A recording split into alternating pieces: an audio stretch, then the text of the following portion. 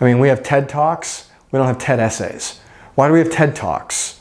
Because it's cool, it's, it, it's pers- more persuasive, it's, you're hearing and you can feel their passion and, their, and, and what they're emphasizing and what they believe in. You know, a football coach in the locker room before the game, getting his team pumped up, doesn't hand them each, you know, a written document to get them pumped up. He gives them a rah-rah speech to get them to run through the door